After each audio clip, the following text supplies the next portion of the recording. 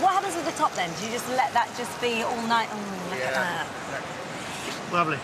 And then the, uh, yeah, so... But this is like really dead simple. I don't think I've ever eaten a duck's egg. Haven't you? Is this about you. I've never eaten a duck's egg. My mum used to make cakes with duck's eggs because we had ducks at one point, but I've never eaten one like just like that. Um, So these are these are separate dishes. Can I nick a little bit of the Go toast to dip in the egg? Yeah. Do you mind? Of course. Have we got um? I've got to take. Oh, we need Here to we have go. some Look. forks. Here, look. look, look, look. First of all, we've got to taste that Bloody Mary egg. Yeah. Right, let's have a little tidy up. This we can get stuck in. Are you quite a messy chef? No. Do I look messy? No. I'm just asking because you said you were needed Spread it When did you start then? What was the? wh- wh- wh- when did you get into the business? When did you start?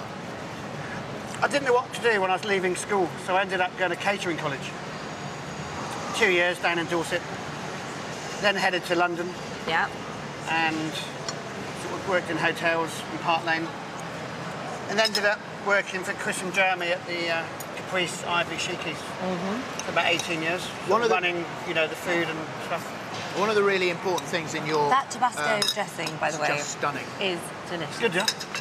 It's so good. Right. One of the important things in your restaurant is um, locally sourced, Yeah. fresh produce, There goes. In season. key. Yeah, it's key. You know, I mean, Sorry. A, a dish, you know, a dish like this, for example, you can Duncan. create that Ooh. dish from Apologies. just within a few miles. You know, Yeah. I just think want to try everything on food one. miles these days is really important. You know, Borough Market, you can get everything under one roof.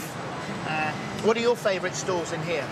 well, they, you know, they've changed a bit over the years, but you know, you can buy fantastic cheese from Neal's Yard. Uh, the Wright brothers, you know, have great oysters.